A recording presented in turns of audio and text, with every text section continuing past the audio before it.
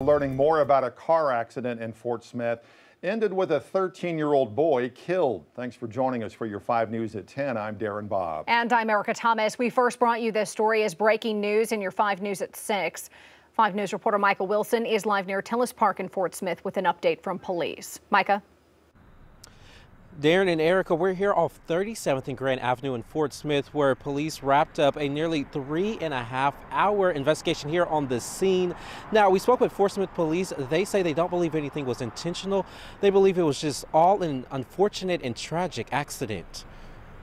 Tuesday evening around 5, Fort Smith police responding to calls of a car hitting a child pedestrian near Tilles Park on Grand Avenue. The 13-year-old Hispanic male was involved as the pedestrian. Police say the teen was at a park playing with friends and was being chased or chasing a dog into the street where he was hit by a car. The driver of the vehicle was on scene, obviously very shook up about what had occurred um, completely cooperative. Police say the driver did not seem to be under the influence, but the 13 year old was taken to the hospital due to head injuries, and he later died.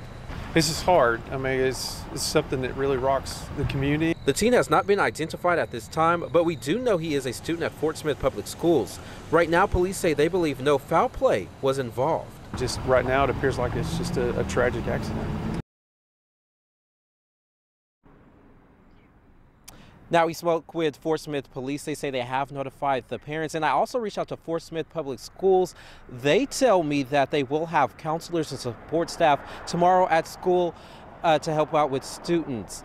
We're live here in Fort Smith, covering news where you live. Mike Wilson, 5 News.